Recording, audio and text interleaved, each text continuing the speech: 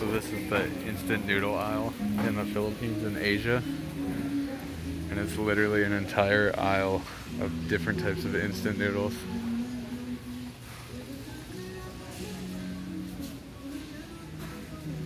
And then at the end, they got the cup noodles.